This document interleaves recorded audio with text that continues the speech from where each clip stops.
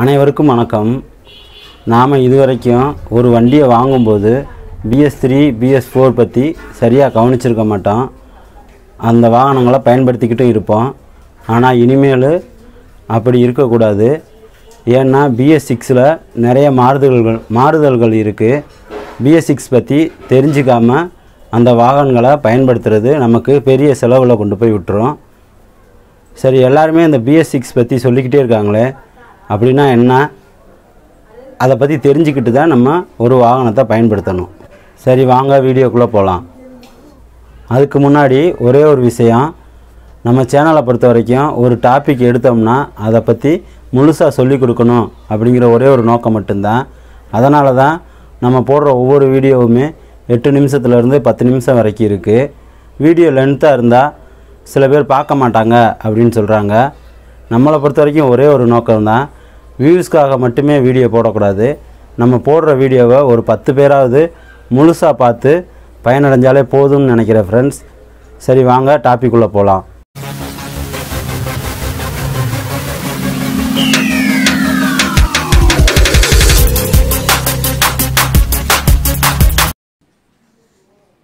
முதல்ல பிஎஸ்னா என்னன்னு பார்ப்போம். Bharat stage emission standard. இதோட ஷார்ட் ஃபார்ம் தான் பிஎஸ் ஒரு வாகனத்தை தயாரித்த பிறகு அது பல்வேறு கட்ட சட்டத்திட்ட விதிகளின் அனுமதிக்கு பிறகு தான் அது விற்பனைக்கு வரும்.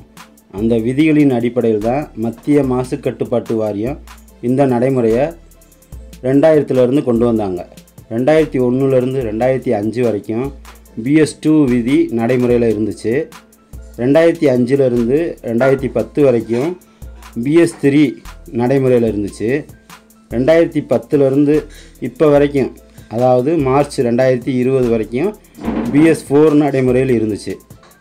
ஏப்ரல் ரெண்டாயிரத்தி இருபதுலேருந்து பிஎஸ் சிக்ஸ் நடைமுறைக்கு வரப்போகுது.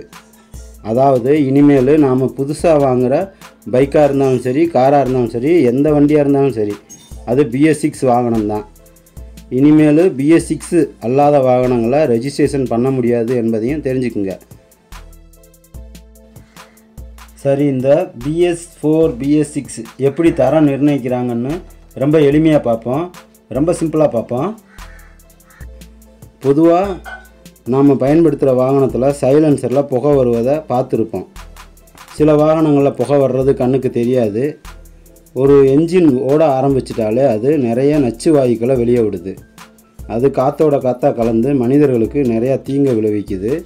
அதில் சில முக்கியமான நச்சு வாயுக்களான nitrous oxide carbon monoxide sulphur oxide. இந்த மூணும் தான் மிக அதிகமான தீங்கை ஏற்படுத்துது. ஒரு வாகனம் ஓட துவங்கிய பின்னாடி ஒரு கிலோமீட்டருக்கு அந்த என்ஜின் எவ்வளவு நச்சு வாயுக்களை வெளியிட வேண்டும்னு ஒரு லிமிட் வச்சுருக்காங்க. அந்த அளவுப்படி நச்சு வாயுக்களை வெளியிடும் என்ஜின்களை மட்டும்தான் உற்பத்தி செய்ய அனுமதித்தாங்க இந்த லிமிட் ஒவ்வொரு அஞ்சு வருஷத்துக்கு ஒரு தடவையும் மாற்றிக்கிட்டே இருப்பாங்க. இது வெவ்வேறு காலகட்டத்தில் பல சிட்ட பல சட்ட திட்டங்களை உள்ளடக்கியதாக இருக்கும். இந்த விதிகளின் படி வந்தது தான் இந்த BS three BS four BS six இப்போ நம்ம பிஎஸ் சிக்ஸில் இருக்கோம்.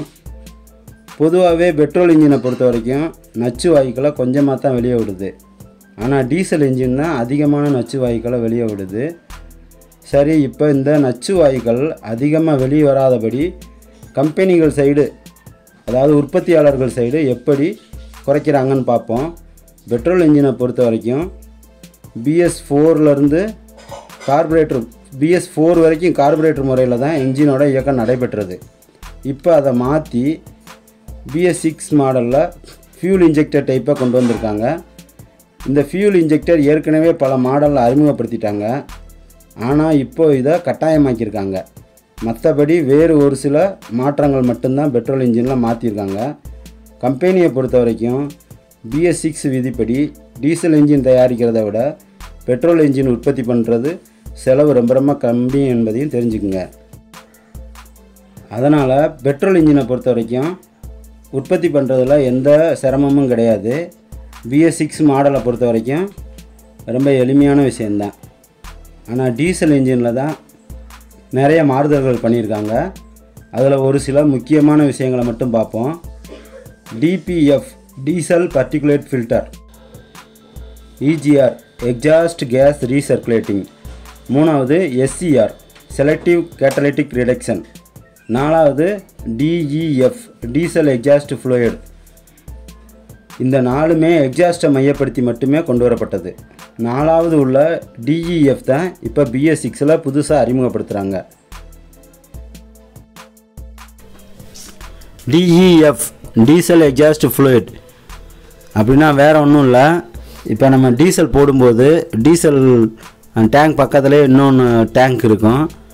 அதில் நம்ம ஆயில் ஊற்றணும் இப்போ எப்படி கூலண்ட் ஆயில் கியர் பாக்ஸுக்கு ஆயில் ஊற்றுறோமோ அது மாதிரி சைலன்சருக்கும் ஆயில் ஊற்றணும் அது நம்ம ஒவ்வொரு தடவையும் டீசல் போடும்போது போடணுன்ற அவசியம் இல்லை. தீர்ந்து போச்சுன்னா கண்டிப்பாக சைலன்சருக்கு ஆயில் போடணும். அது போட்டால் தான் அது வண்டி ஒழுங்காக புகத்தல்லாமல் ஓடும். இல்லாட்டி அது தீர்ந்து போச்சுன்னா வண்டி ஸ்டார்ட் ஆகாதுங்கிறதையும் தெரிஞ்சுக்குங்க. இந்த இந்த ஒரு விஷயத்தை தான் இப்போ பிஎஸ் சிக்ஸில் கொண்டு வந்திருக்காங்க. டீசல் இன்ஜினை பொறுத்த வரைக்கும் பிஎஸ் ஃபோர்லேருந்தே சிஆர்டிஇ அப்படின்னு சொல்கிற காமன் ரயில் டிரைவ் என்ஜினை அறிமுகப்படுத்திட்டாங்க. பல சென்சார்களை பயன்படுத்தி இந்த டைப் என்ஜின்களை உருவாக்கியிருக்காங்க. இந்த சென்சார்கள் தான் மொத்த இன்ஜினையுமே கண்ட்ரோல் பண்ணுது. அதாவது என்ஜினுக்குள்ளே எவ்வளவு காற்று உள்ளே போகுது டீசல் எப்போ உள்ளே போகணும் எவ்வளோ போகணும் இது மாதிரி இன்னும் நிறையா விஷயங்களை கண்ட்ரோல் பண்ணுது. சென்சார்ஸ் சென்சார்ஸை பற்றி பின்னாடி நம்ம விளக்கமாக அடுத்தடுத்து வர்ற வீடியோக்குள்ளே பார்ப்போம். அடுத்தது கவர்மெண்ட் சைடு இந்த நச்சு வாயுக்களை குறைப்பதற்கு வேறு என்ன நடவடிக்கை எடுத்திருக்காங்கன்னு பார்ப்போம். பெட்ரோல் டீசல் மற்றும் என்ஜின் ஆயில். இப்போ வர்றதை விட இன்னும் அதிகமாக சுத்தம் செய்து அதோட தரத்தை உயர்த்துறாங்க. டீசல் இன்ஜினை பொறுத்த வரைக்கும் பிரச்சனையே இந்த டீசல்னால தான். டீசலில் சல்ஃபர் கண்டக்ட் நிறையா இருக்கிறதுனால அதிகளவு நச்சுத்தன்மையான வாயுக்களை வெளியே விடுது. இதை குறைப்பதற்காக தான் டீசலில் கலக்கிற சல்ஃபர் கண்டென்ட்டை எண்பது சதவீதம் அளவுக்கு குறைச்சிட்டாங்க. இதனால் என்ன பிரச்சனைன்னா இப்படி தயாராகிற டீசலில் பிஎஸ் சிக்ஸ் மாடலை தவிர மற்ற சாதாரண வண்டிகளுக்கு இந்த டீசலை போடக்கூடாது. பிஎஸ் சிக்ஸில் மட்டும்தான் யூஸ் பண்ண முடியும். இப்போ நாடு முழுக்க இருக்கிற பெட்ரோல் பல்க்லையும் தனியாக ஒரு பம்பு கொண்டு வரணும். அதாவது பிஎஸ் சிக்ஸுக்கு தனி டீசல் பிஎஸ் ஃபோர் வரைக்கும் உள்ள வண்டிக்கு தனி டீசல். இந்த மாதிரி நடைமுறை சிக்கல் வேறு இருக்குது இப்போ புரியுதா? உங்கள் வண்டிக்கு எந்த மாடல்னு நீங்கள் தெரிஞ்சிக்க வேண்டிய அவசியம் என்னன்னு? சரி பிஎஸ் சிக்ஸுக்கு போடுற டீசலை பிஎஸ் ஃபோருக்கும் பிஎஸ் ஃபோருக்கு போடுற டீசலை பிஎஸ் சிக்ஸுக்கும் போட்டுட்டா என்ன ஆகும்? ரெண்டு டைப் வாகனத்துக்குமே பிரச்சனை தான். இப்போ பிஎஸ் ஃபோரில் இந்த டீசலை போட்டால் என்ன ஆகும்னு பார்ப்போம். பிஎஸ் சிக்ஸ் டீசலில் சல்ஃபர் கண்டென்ட் அளவு எண்பது சதவீதம் குறைச்சிட்டாங்கன்னு பார்த்தோம் இல்லையா? சல்ஃபர் கண்டென்ட்னா ஒன்றும் இல்லை டீசலோட விழுவிழுப்பு தன்மை ஒரு என்ஜின் ஓடுவதற்கு ஆயில் ரொம்ப முக்கியம். ஆயில்னால் என்ன? அதோடய வகைகள் என்ன? அப்படின்னு பல விஷயத்த ஆயில்னு ஒரே வீடியோவில் விளக்கமாக சொல்லியிருக்கேன். அந்த வீடியோவை பார்க்காதவங்க பார்த்து தெரிஞ்சுக்குங்க. சரி அதே மாதிரி இன்ஜினோட ஹார்ட் ஆஃப் தி பார்ட் இதயம்னு சொல்கிற டீசல் பம்ப் நாசிலுக்கும் விழுவிழுப்பு தன்மை தேவை. இப்போ நடைமுறையில் இருக்கிற டீசலில் இந்த விழுவிழுப்பு தன்மை அதிகமாக இருக்கிறதுனால தான் பம்பு நாசில் போன்ற பாகங்களுக்கு எந்தவித பாதிப்பும் ஏற்படாது. ஆனால் இந்த பிஎஸ் சிக்ஸ் டீசலில் அந்த விழுவிழுப்பு தன்மை இருபது பர்சன்ட் மட்டும்தான் இருக்கும். இப்போ உங்களுக்கே புரிஞ்சிருக்கும் இந்த டீசலை போட்டால் என்ன ஆகும்னு. பம்பு நாசில் எல்லாமே ரொம்ப சீக்கிரம் வேலை வந்துடும் அதுலேயும் இந்த காமன் ரயில் இன்ஜெக்டர்லாம் பிரித்து வேலை பார்த்தா இருபதாயிரம் முப்பதாயிரம்னு செலவாகி போயிடும் சரி பிஎஸ் சிக்ஸில் சாதா டீசலை அதாவது பிஎஸ் ஃபோரில் பிஎஸ் ஃபோர் டீசலை போட்டால் என்ன ஆகும் இங்கே தான் கொஞ்சம் யோசித்து கம்பெனிக்காரங்க என்ன பண்ணியிருக்காங்கன்னா நம்ம மாற்றி போட்ட டீசலு டீசல் ஃபில்டரை தாண்டி போகாது. டீசல் ஃபில்டர் choke ஆகி வண்டி ஸ்டார்ட்டே ஆகாது. அதுக்கப்புறமா நம்ம டீசல் ஃபில்டரை மாற்றிட்டு வண்டியை ஓட்டிக்கலாம். சரி இப்போ ஒரு காமன் மேன் இவ்வளோ விஷயத்தையும் தெரிஞ்சுக்கிட்டா வண்டி ஓட்ட முடியும்? அதுக்கு என்ன வழிவகை செய்ய போகிறாங்கன்னு சரிவர தெரியலை. கார் கம்பெனியை பொறுத்த வரைக்கும் இந்த மாதிரி குழப்பம் வரக்கூடாதுன்னு தான் டீசல் இன்ஜின் உற்பத்தியவே ஒரு சில கம்பெனிகள் ஸ்டாப் பண்ணி வச்சுருக்காங்க.